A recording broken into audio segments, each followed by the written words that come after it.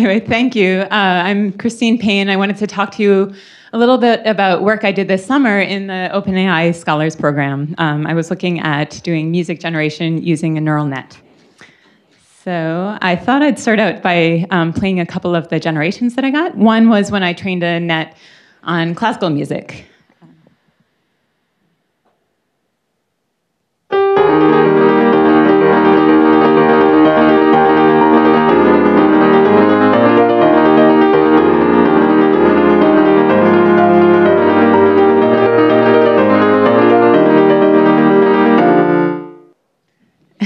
The second one is uh, the same neural net, but instead trained on uh, jazz music.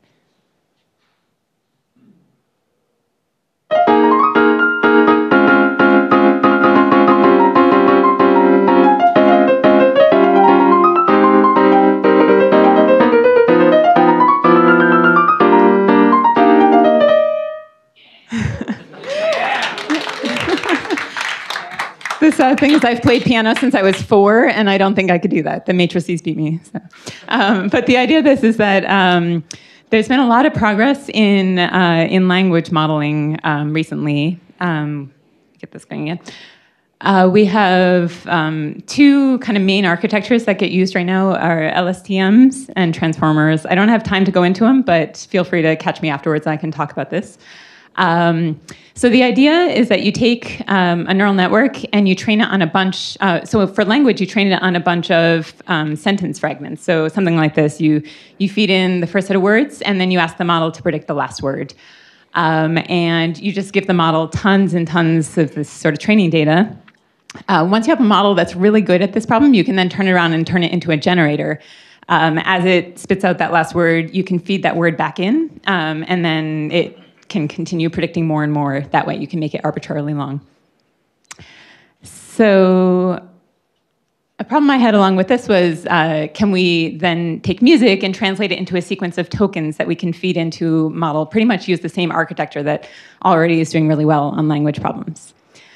The problem is music tends to be pretty complicated. Um, it doesn't kind of come at you sequentially the way you'd want. Um, so I'm defining here what I call a musical time step which is all, you know, everything that's happening at one moment in time. So what I might want to tell the model is, okay, here you have to play D and B, and then you move to the next time step, you play G, next time step, so forth, next time step, G and a C. The problem you can see here is now all of a sudden there's a note um, here in the middle that's faster than I was sampling the music. So I need to go back. I need to think about um, should I have a faster sampling frequency? Though that then means I might have a lot of moments where nothing's happening at all.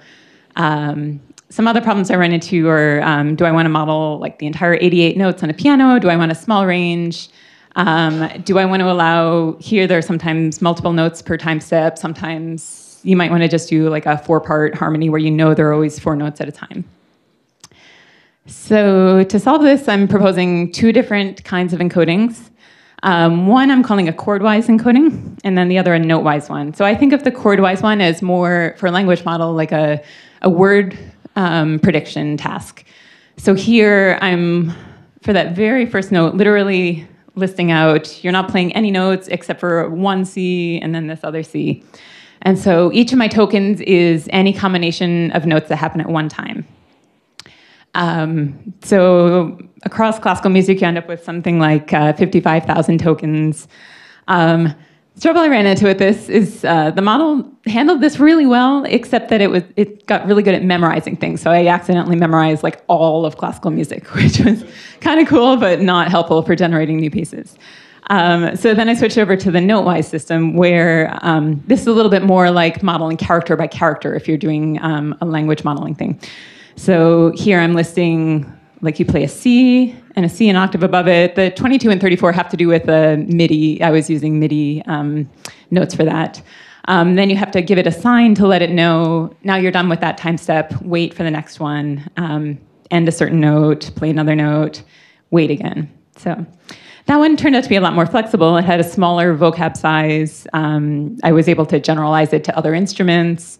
Um, was it and it did a lot better moving from our training validation set. So along with that, I, uh, I created an internet quiz, as everyone does, for um, judging whether my pieces were human composed or AI composed. And here, this is totally unscientific but fun. Um, people were asked to judge um, what they thought, who had composed the piece. And out of four questions, it pretty much was just like people were guessing from random. There were, you know, a few, uh, especially friends who were musicians, were able to get them four for four, but a lot of people had trouble with it. So, um, and pretty much wrapping up, um, my thought is that uh, these better encodings um, really do lead to better music generation when you're dealing with neural nets. Um, what I'm looking at in the future is trying to come up with more creative encodings. Um, right now, I'm working on uh, like branching out past classical music, um, encoding lots of different instruments. Um, also looking for longer time scale things. This is a big problem in language modeling as well, like trying to get to be able to um, generate an entire page rather than just a sentence that makes sense.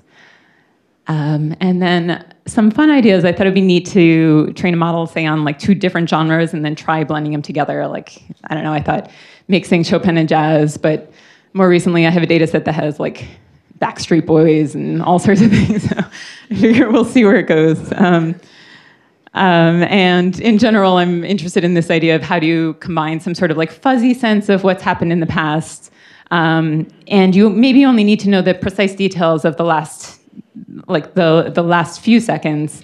Um, but you still want a big picture view, and then you want to be predicting a big picture view, but then only need the details in the next few seconds. So, kind of combining that um, different hierarchy.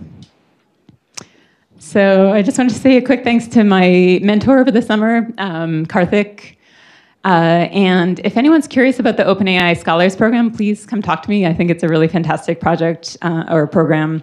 I've actually ended up staying on there and working there now. Um, and then thanks to Classical Archives and BitMIDI for giving me a ridiculous number of MIDI files to do this. So, thank you.